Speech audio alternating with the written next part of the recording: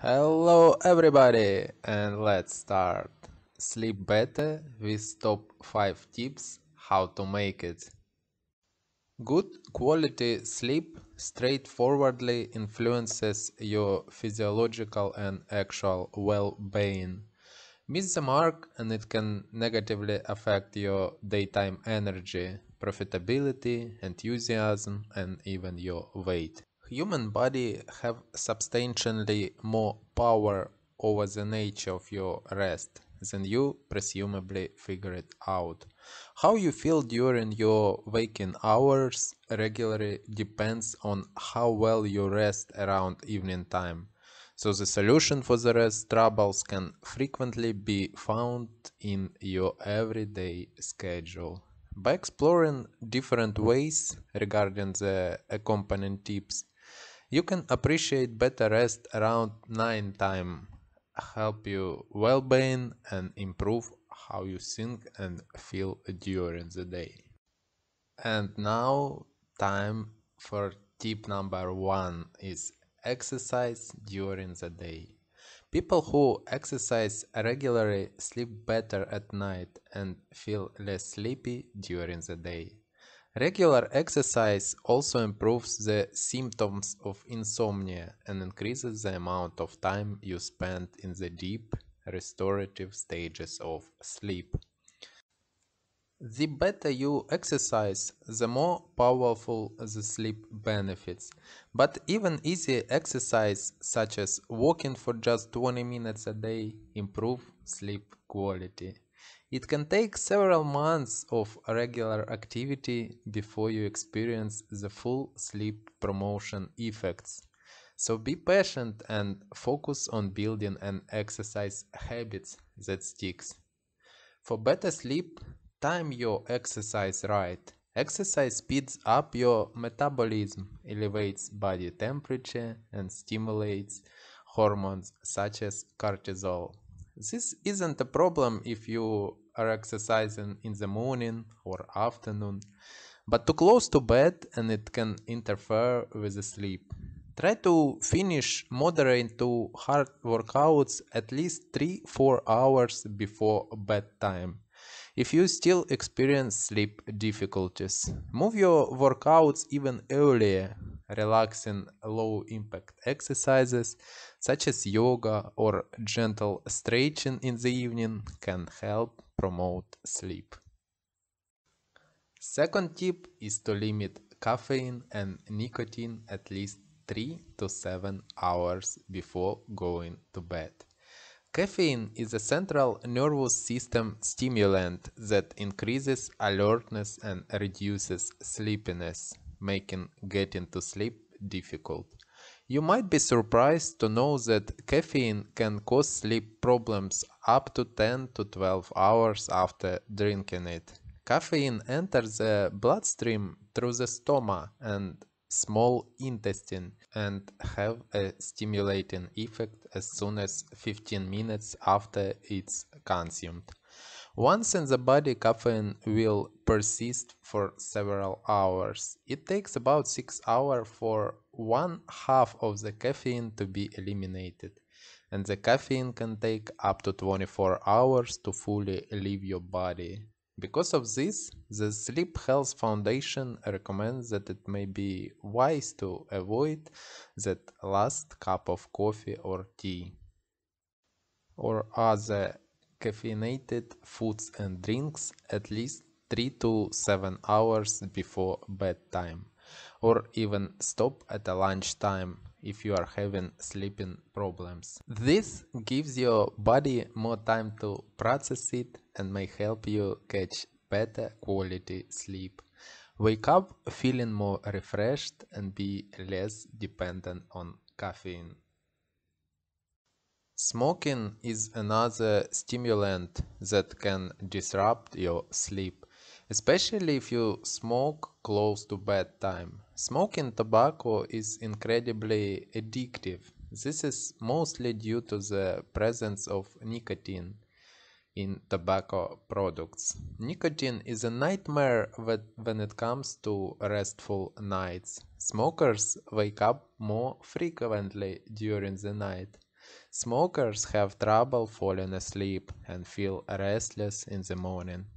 The average person loses 1.2 minutes of sleep for every cigarette they smoke due to nicotine stimulating and subsequent withdrawal effects. Tip number 3 Avoid alcohol before bed. Regular drinking can affect the quality of your sleep, making you feel tired and sluggish. This is because drinking disrupts your sleep cycle. Several sleepless nights have an impact on our day to day mental health. For example, on our mood concentration and decision making. Alcohol messes with your sleep cycles, resulting in more arousals and causing you to spend less time in the important deep sleep stages.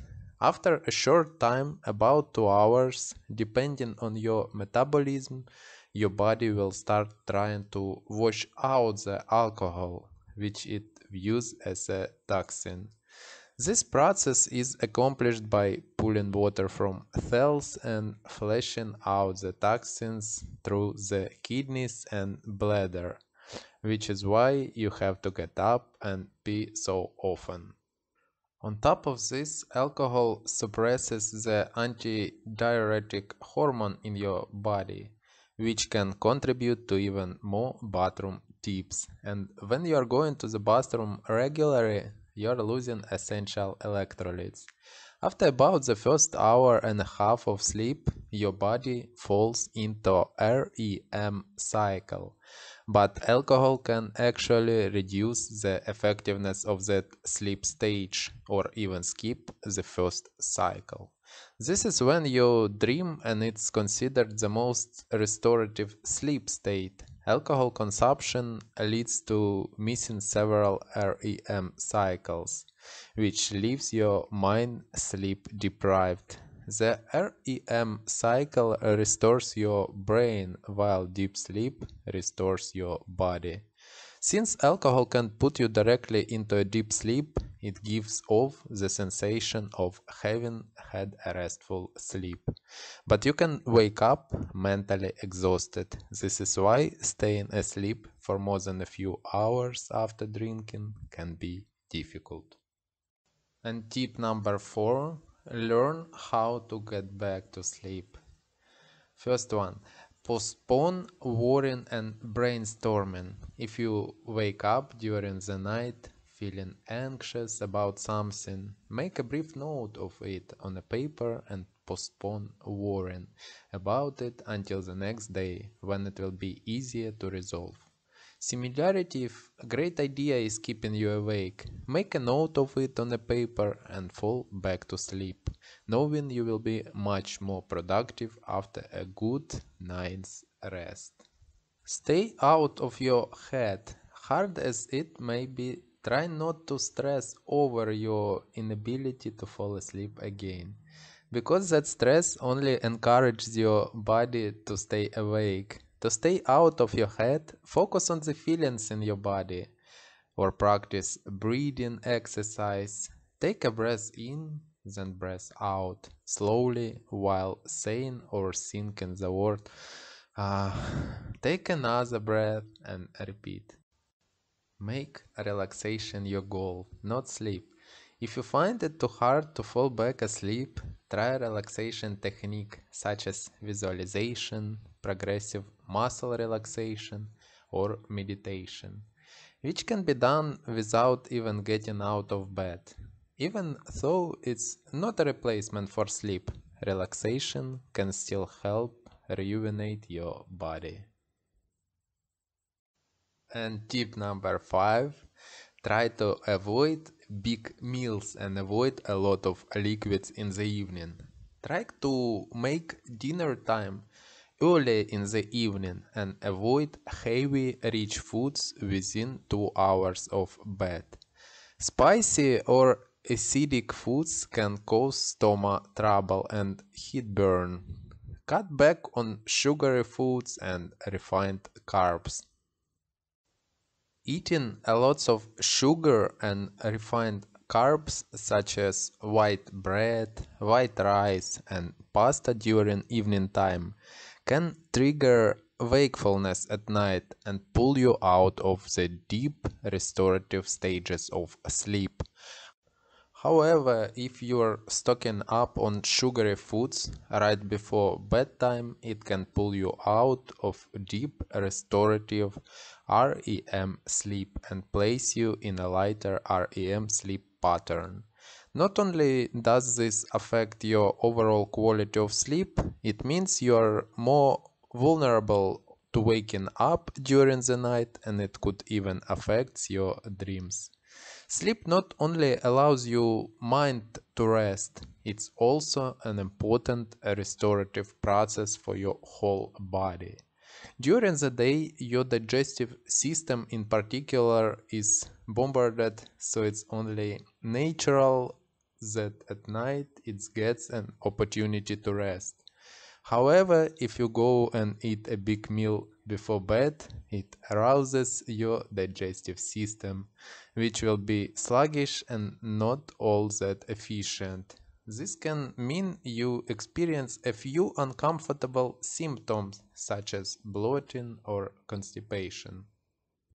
When people sleep, they can lose about 1 to 1.5 pounds of water. That is why it's typically a good idea to weigh yourself in the morning if you want the lowest number on the scale. Breathing, sweating, and even getting up to urinate in the middle of the night all contribute to fluid loss. The problem arises when you drink too much water, especially right before bed. It could easily lead to having to get up to use the restroom and the sleep interruption. A general rule of thumb suggests you avoiding drinking water two hours before sleeping to avoid waking up at the night.